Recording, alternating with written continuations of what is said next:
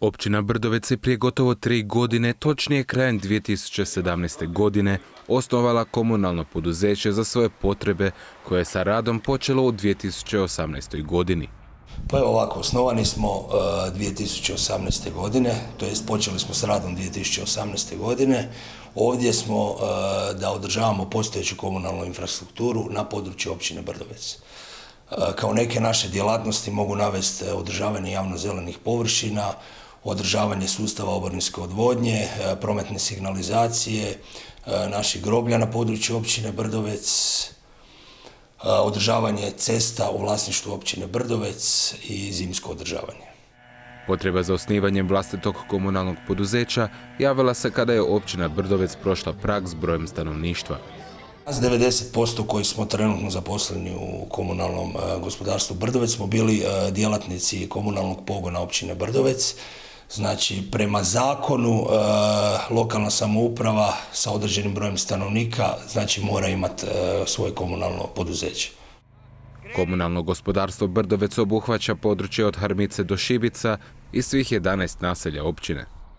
Mi imamo e, poslove pod održavanje javno-zelenih površina, održavanje znači oko 70 tisuća e, kvadrata zelenih travnjaka, oko 30 e, tisuća kvadrata znači površina unutar dječjih igrališta, negdje tristotinjak parkovnih drveća za održavanje, metara i metara, znači žive ograde i razno razno znači oko 76 e, km asfaltiranih cesta i 16 km e, makadamskih cesta za redovno održavanje, koje spadaju naravno i u zimsko održavanje.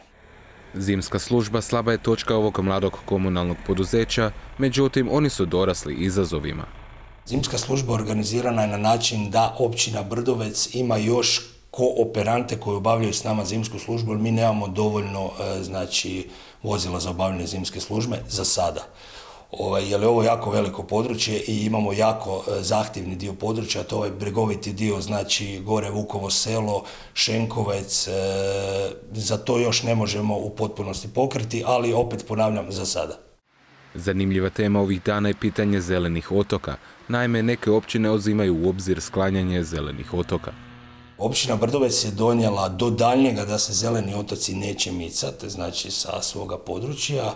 Da pače, e, općina Brdovec potiče e, stanovnike općine Brdovec da ovaj da odlažu svoj otpad na zelenim e, otocima, ali u kante koje su namijenjene za tu vrstu znači otpada, a ne oko kanti, jer to sve zajedno izgleda kao jedno divlje odlagalište.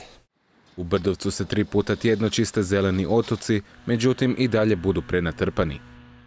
Pa da li bi bilo češće odvažanje otpada? Mislim da ne. Dovoljno je ovo, e, znači tura odvažanja otpada. Znači od 2018. E, godine na području općine Brdovec, e, točnije u ključu Brdovečkom, mi imamo i reciklažno dvorište koje je pod, upravljanjem Zaprašiškog komunalnog. Znači stanovnici općine Brdovec mogu slobodno doći i besplatno odložiti svoju vrstu otpada i uz pomoć stručne osobe mogu i reciklirati taj otpad, znači posebno po potrebitim kontejnerima. Mole se građani da koriste reciklažno dvorište kojim je besplatno za korištenje. Čovjek prođe s autom, vidi zeleni otak, e, istovari dvije gume od auta. Znači zeleni otak nema svrhu da neko dođe i istovari gumu od traktora na taj zeleni otok, nego za to ima reciklažno dvorište koje je potpuno besplatno, koje razumno radno vrijeme ima i tamo može odložiti svoj otpad potpuno besplatno. Nakon postavljanja kamera, ali i zelenih otoka, divlje odlagalište na Vrbini gotovo su u potpunosti nestala. Na svim e, bivšim, da nazovem divljim odlagalištima, postavljen je e, kamerni sustav i postavljene su oznake upozorenja da je taj cijeli prostor pod video nadzorom, što je, postavljene su rampe, znači svako ko dolazi na određeno područje mora osobno dići rampu, znači kamera će ga vidjeti, barem licem i prezime, vidjet će registraciju, tako da osoba koja pokuša e, iskipati bilo kakav otpad na divlje odlagalište, za to će snositi određene sankcije. Znači, e, divlja odlagališta koja su bila kod nas e, na Vrbini, znači su sanirana, mogu reći, skoro u potpunosti. Sav taj otpad koji je bio e, nekad u Vrbinama, sad se nalazi, nažalost, oko zelenih otoka, znači jedan dobar posao je napravljen. Kad bi sav taj otpad koji se nalazi na zelenim otocima završio u reciklažnom dvorištu, onda bi mogli reći da smo napravili dobar posao.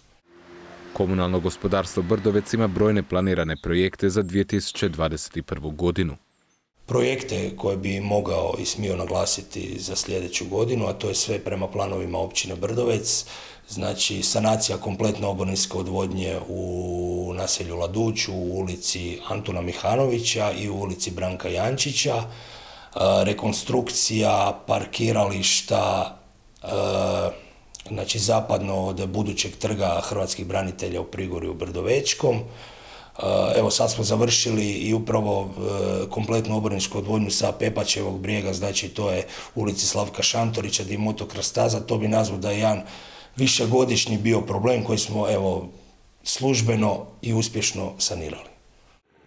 Da bi Brdovec i njegovo područje procvalo u punom sjaju, sade se biljke na raznim lokacijama. Evo, htio bih naglasiti da smo od e, prošle godine preuzeli i sadnje cvijeća na području cijele općine Brdovec. To je oko 250 kvadrata površina gdje se sadi razno sezonsko cvijeće. Znači, godišnje e, posadimo oko 9000 sadnica, što pola mađuhica koje spadaju u jesensku sadnju, što pola e, znači ljetnica ljetnog cvijeća. Evo, planiramo možda u skoroj budućnosti, znači nekakav vlastiti e, onako skromni rasadnik da možemo imati svoje sadnice, sadnice živih ograda, sadnice ljetnih, e, ljetnog cvijeća, sadnice e, jesenskog cvijeća i još razne, razne, razne nove sadnice. Stari predmeti koji se nađu na zelenim otocima i drugim neprikladnim mjestima prenamijene se u zgodne vaze. Mi imamo jednu našu inovaciju, to je inovacija znači na našoj nekoj skromnoj razini, naši dečki prilikom čišćenja divljih odlagališta zeleno otoka nađu, nama su to zlatne stvarčice, znači nekakvi stari bicikli, tačke, bilo kakvi nekakvi, ajmo reći, alati koje mi obnovimo u svoje radioni, dovedemo ih u neko simpatično stanje, posadimo njih cvijeće, stavimo na neku lijepu javnu površinu i to je ljudima onako dosta su zadovoljni kad to vide i imamo, mogu reći, dobar feedback. Ovaj bezimeni projekt inicijativa je mladog komunalnog poduzeća, a ne bi ga bilo moguće ostvariti bez vrijednih radnika. Osobno moja inicijativa, ali ne mogu preuzeti sam za to e, ovaj, e, hvalu. Znači, to je inicijativa na kraju krajeva svih nas, e, sve su to zlatne ruke, naši djelatnici koji to sve obnove, osvježe, naša cvjećarka koja to posadi cvijeće i ideja di će se na koju javnu površinu staviti u dogovoru sa, sa čelnicima općine Vrdovec.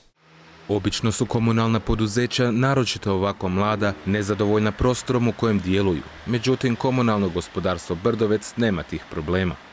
Evo, smješteni smo trenutno u ovim našim uredskim prostorijama. Za nas, koliko nas ima ovdje, je sasvim dobar prostor. Ovo je novi prostor. Dečki su nas smješteni u malo starijim prostorijama, znači u dosta starijoj zgradi, ali za sad smo zadovoljni. Znači, kapacitet prostora nam odgovara, e, kapacitet strojeva i vozila trenutno nam odgovara. Naravno, taj vozni park treba e, stalno obnavljati, jer vozila e, sa vremenom znači e, postaju sve starija i treba ih mijenjati. Vozni park obnavljamo iz godine u godinu, znači za to se mora napraviti naravno plan za narednu godinu. E, sad trenutno ne mogu iznositi e, šta ćemo točno mijenjati, jer još nismo napravili službeni plan za, za narednu godinu.